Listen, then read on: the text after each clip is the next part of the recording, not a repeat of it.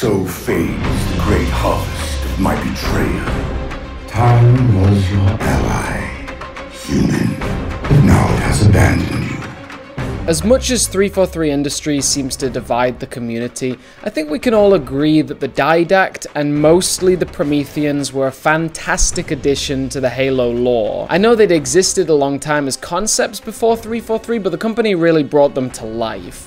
And here we've got the Didact, Watcher, and Crawler, but these are not the ones we're reviewing today. Hello once again YouTube and welcome back to The Domain. We've got, oh, this Halo Hero Series 10 Didact is one of my favorite all-time figures. He's got beautiful paint apps all over his body, and then these two are just basic Watchers and Crawlers, but I just wanted to start the video with these guys so you could sort of, it sort of builds it up to what we are getting ourselves into today. Now this is also a video that I've probably prolonged for the longest time of any video because I received these customs, oh, I don't even know, six months ago now. The figures I'm about to show you are from that 70s dude and his hobbies who is now miniature hobbyist. Now I sent him a set of Prometheans, not the Series 10 Didact, but the Broadsword Didact, along with a Watcher and Crawler, and I set him the challenge of making some beautiful customs, and he 100% delivered. And to show you these customs, we want to switch to our macro lens, because I want to get up close and personal with these figures. Okay, here we go. So I set that 70s dude with a challenge of making some special Prometheans in a kind of mithril silver color scheme. And I think he delivered so well. We're gonna start with the crawler to begin with.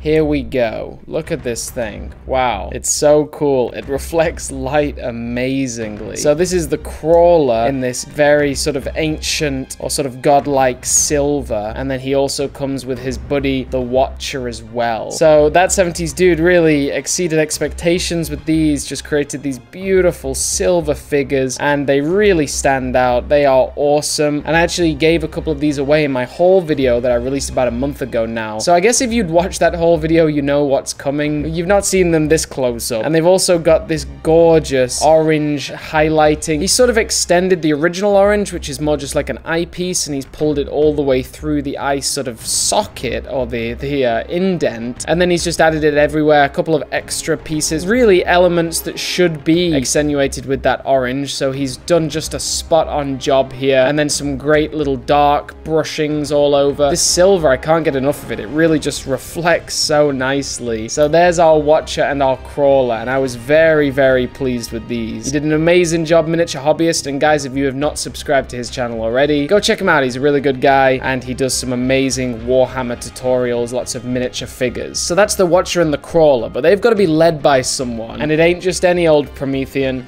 This is the Didact. Whoa, he's too tall for the camera. There we go. There's the Didact. Whoa. So cool. Such a great use of a Didact. I've actually got quite a lot of Didacts hanging around. I used to buy them up a lot. I knew they would be rare one day. And look at that. I can actually, I'm looking at way more detailings that I didn't even realize was on the original figure. Like, I guess you can't, I, I guess if you looked hard enough, you'd be able to tell. But the silver really brings out these sort of like pipelines. I wouldn't notice those, but you can see them very well here. You can also kind of see a watcher in his back. I don't know. It kind of looks like that. The Didact is just such a legendary character character. He died way too early in Halo 4, if you ask me. The problem with 343 is they sort of like resolve their stories like too early.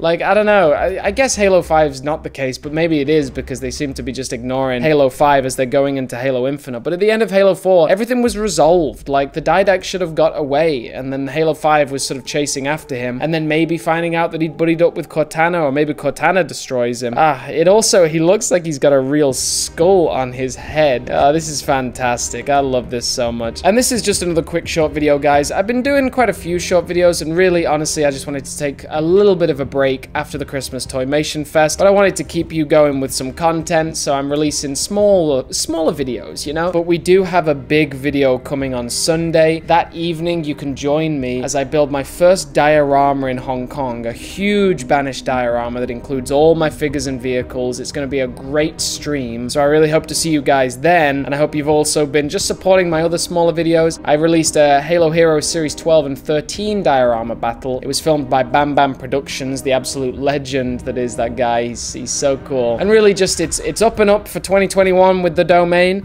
Thank you very much for tuning in today and let me know what you think of these figures down below. And also let me know what your favorite part of Halo 4 was. What do you think is the defining moment of Halo 4 or what do you think they did best? Halo 5 has some some serious issues, but Halo 4, I mean as a starting game for 343, I thought it was fantastic. Amazing campaign, beautiful multiplayer like I I loved Halo 4 at the time. So let me know in the comments what is your favorite part of Halo 4. And as always, have an amazing day out there. The Watcher, whoa, is si oh, okay, where did he go?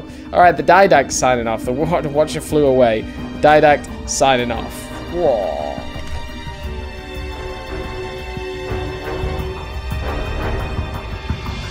The Forerunners